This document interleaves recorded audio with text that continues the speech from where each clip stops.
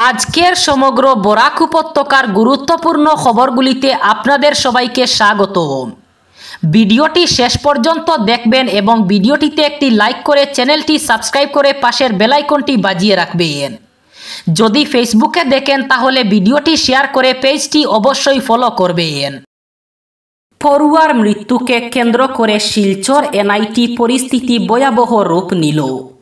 ক্ষুব্ধ পড়ুয়ারা সাংবাদিক, পুলিশ সহ এনআইটি কর্তৃপক্ষের প্রায় দশটি গাড়িতে বাংচুর চালায়। এর মধ্যে রয়েছে কয়েকটি স্কুটিও।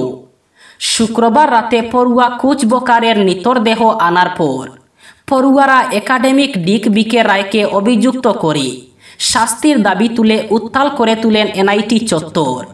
খবর পেয়ে পুলিশ সুপার, অতিরিক্ত পুলিশ সুপার রাঙ্গিরখাড়ির পুলিশ দলবল নিয়ে ঘটনাস্থলে পৌঁছায়। সন্ধ্যা রাতে প্রথম দফায় উত্তেজনার পর পুলিশ সুপার নমুল মাহাত্ম পড়ুয়াদের বুঝিয়ে সুজিয়ে ডিনকে গেরাও মুক্ত করে নিয়ে আসেন। এরপর রাত দশটা নাগাদ পুলিশ সুপার পড়ুয়াদের নিয়ে বাইরে আলোচনা শুরু করেন। এর মধ্যেই কোনো এক ব্যক্তি একটি প্লাস্টিক বোতল দিয়ে ডিল ছুঁড়ে। বোতলটি সোজা এসে পড়ে এসপির মুখে। এতে ক্ষিপ্ত হয়ে তিনি লাঠি চার্জ করতে নির্দেশ দেন। পুলিশ লাঠি চার্জ শুরু করলে পড়ুয়াদের মধ্যে ক্ষোভের পারদ আরও বেড়ে যায়। শুরু হয় দুমদুমার কাণ্ড।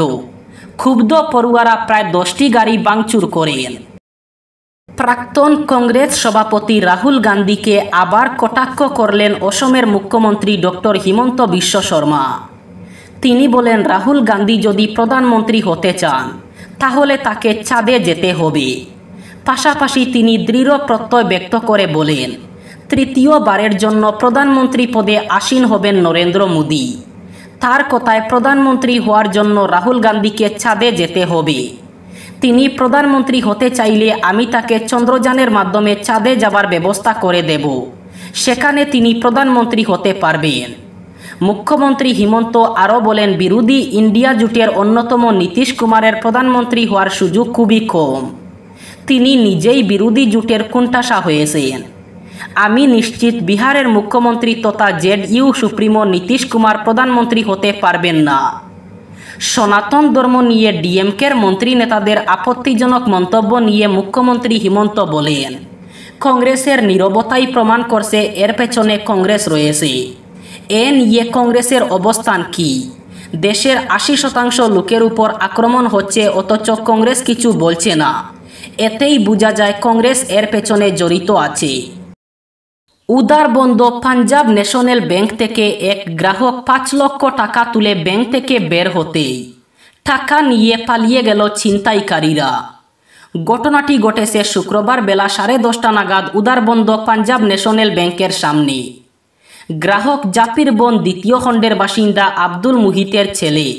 আনারুল হক লস্কর ঘটনার বিবরণ দিতে গিয়ে সাংবাদিকদের জানান শুক্রবার সকাল সাড়ে দশটায় উদারবন্দ পাঞ্জাব ন্যাশনাল ব্যাংক থেকে। পাঁচ লক্ষ টাকা তুলে ব্যাংকের নিচে এসে বাইকে উঠে অল্প যেতেই। এক যুবক তাকে বলে, তার কিছু টাকা মাটিতে পড়ে গিয়েছে। সে বাইকে পাঁচ লক্ষ টাকার ব্যাগ রেখে মাটিতে পড়ে যাওয়া টাকা খুঁজতে আসা মাত্রই পাঁচ লক্ষ টাকার ব্যাগ নিয়ে পালিয়ে যায় ছিনতাইবাজ। এদিন টাকা ছিনতাইয়ের ঘটনায় তীব্র চাঞ্চল্য দেখা দেয় গোটা এলাকায়। খবর পেয়ে ঘটনাস্থলে ছুটে যায় উদারবন্দ পুলিশ। পরে পুলিশের তরফে ব্যাংক কার্যালয়ে গিয়ে সিসি ক্যামেরার ফুটেজ হতিয়ে দেখার পাশাপাশি প্রাথমিক তদন্ত করা হয়। তবে শেষ খবর পাওয়া পর্যন্ত থানায় কোনো এজাহার দায়ের করা হয়নি। দীর্ঘ বারো ঘণ্টা থেকে বিদ্যুৎহীন পাঁচ গ্রামের তিনটি এলাকা। এএসবি ঘেরাও করে প্রতিবাদে উত্তাল জনগণ। এই কাঠফাটা গরমে নেই বিদ্যুৎ। শুক্রবার সকাল দুপুর সন্ধ্যা এমনকি রাতেও বিদ্যুৎ পরিষেবা দিতে না পারায়। খুবই ফেটে পড়েন পাঁচগ্রাম এলাকার জনগণ। তারা বলেন যতক্ষণ পর্যন্ত বিদ্যুৎ সরবরাহ না হবে ততক্ষণ পর্যন্ত তারা বিদ্যুৎ বিভাগের অফিসে আন্দোলন চালিয়ে যাবেন।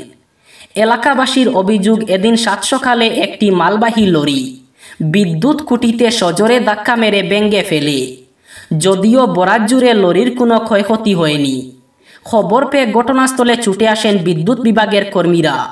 তারা লরি চালকের কাছ থেকে জরিমানা আদায় করেন। তারপরও বৈদ্যুতিক কুটির সারাই হয়নি। ফলে একদিকে যেমন গরমে নাজেহাল, তার উপর বিদ্যুৎ না থাকায় গোটা এলাকায় জল সরবরাহ বন্ধ হয়ে পড়ে। সন্ধ্যার পর তীব্র উত্তেজনা ছড়ায় পাঁচগ্রাম এএসইবি চত্বরে। বিদ্যুতের কুটি ব্যঙ্গে ফেলার পর থেকে অন্ধকারে ডুবে যায় বৃহত্তর সন্তোষনগর কলোনি। শিবচর কলোনি সহ মুদিপাড়া। তীব্র গরমের মধ্যে সারাটা দিন বিদ্যুৎহীন অবস্থায় কাটান তিনটি গ্রামের মানুষ। বিদ্যুৎ না থাকায় গরমে নাজেহাল হয়ে সন্ধ্যা হতেই রাস্তায় বেরিয়ে আসেন তিনটি গ্রামের মানুষজন। কেরলের কুকি জুড়ে ক্রমেই বাড়ছে নিপা আতঙ্ক।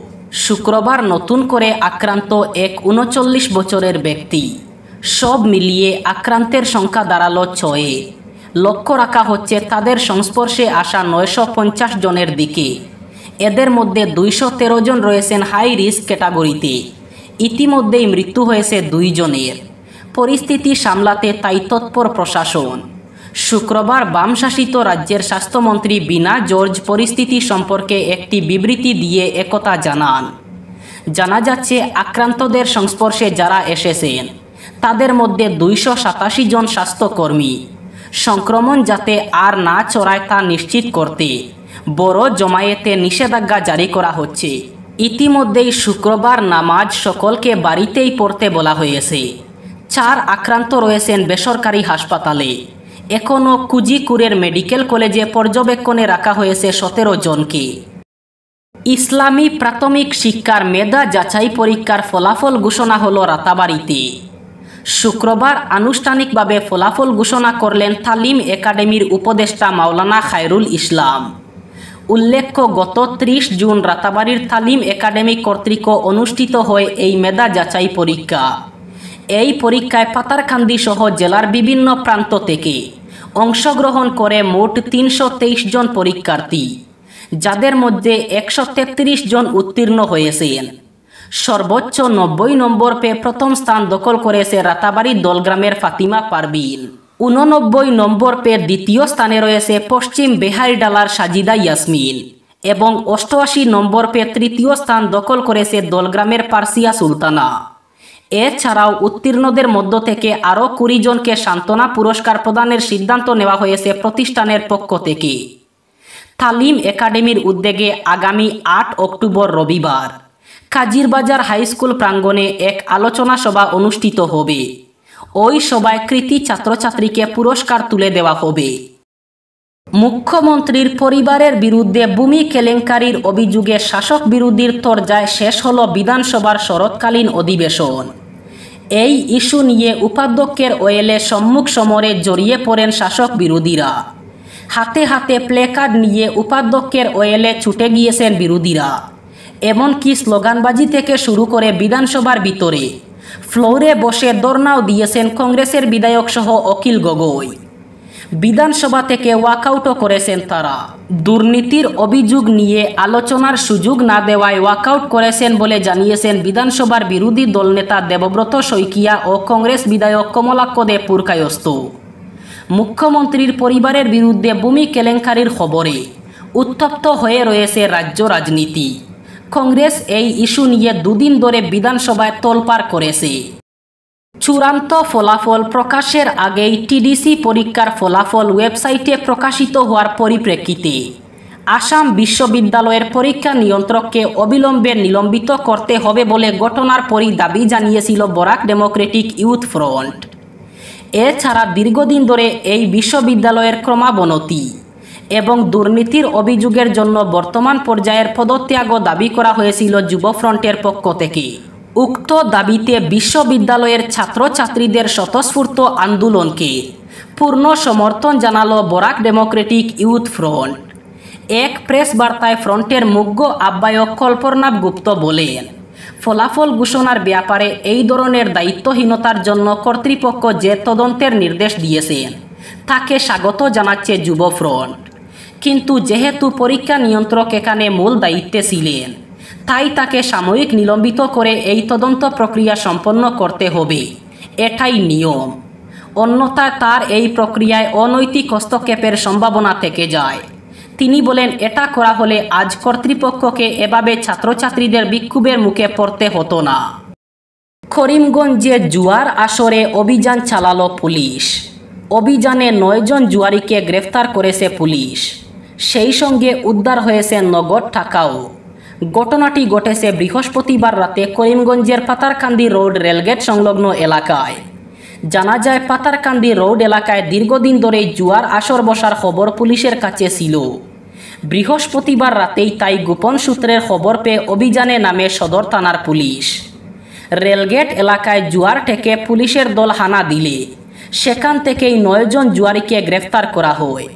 পুলিশি অভিযানে উদ্ধার হয় পঁচাশি হাজার তিনশো দশ টাকা। তাস সহ বেশ কিছু জুয়া খেলার সামগ্রী। বাজেয়াপ্ত করা হয়েছে ষাটটি মোবাইল ফোনও। এদিকে ধৃতদের বিরুদ্ধে ভারতীয় দণ্ডবিধির নির্দিষ্ট দ্বারায় করিমগঞ্জের সদর থানায় মামলা রুজু করে আদালতে তোলা হলে আদালতের নির্দেশে জেল হাজতে পাঠানো হয়।